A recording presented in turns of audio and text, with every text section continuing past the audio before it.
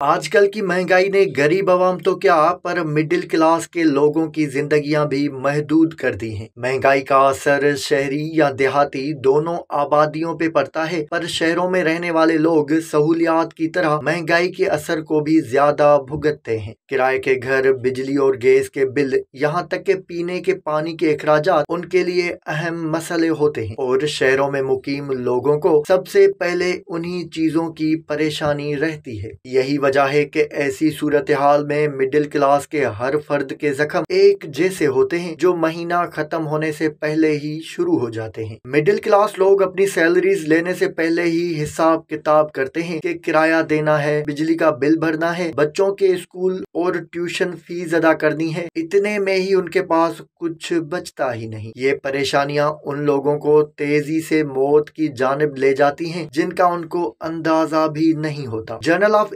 Epidemiology में एक तहकीक छाया हुई है, जिसमें ऐसे बरतानवी शहरियों के खून के नमूने टेस्ट किए गए जो कि किराए के घर में रहते हैं। नमूनों के नतज से ये हैरत अंगेज इंकशाफ हुआ कि किराए के घरों में रहने वालों की हयातियाती उम्र में तेज़ी से इजाफा होता है। यहाँ तक कि ये उम्र में इजाफा बेरोजगार रहने के मुकाबले में भी दुगुना होता है। किराए के घर में रहने वाले ऐसे अफराद जिनके लिए किराया अदा करना मुश्किल है या उनकी ज़िंदगी में और भी परेशानियाँ हैं, उन पर बुढ़ापा मजीद तेज़ी से हमलावर होता है, जिसकी वजह से उनके बाल सफ़ेद होने लगते हैं और मुख्तल बीमारियाँ भी घेर लेती हैं। ऐसे लोग अगर अपना मकान बना लें या फिर कोई उनका किराया अदा करने में मदद कर दे तो उनका बुढ़ापे की जानब बढ़ने वाला सफ़र कम हो सकता है। इसके अलावा जहनी तनाव को कम से कम रखने रखने वाली आदात भी इस मसले को हल करने में नुमाया किरदार अदा करती हैं।